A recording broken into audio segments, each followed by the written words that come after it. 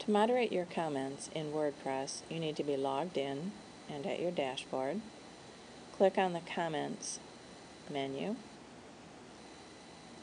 And in the Edit Comments window, you can see all of your comments, how many are pending approval, those that have been approved, and you can see how many comments have been caught as spam by the spam filter that we use on our WordPress server.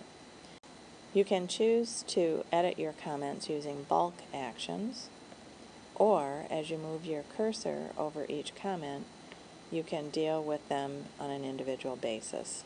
You can unapprove the comment, mark it as spam, delete it, edit it, quick edit it, or reply.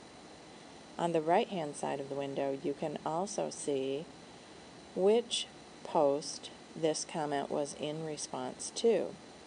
And by clicking on the little number, that will take you to that particular post comments. And it tells me that I have zero pending on that particular post.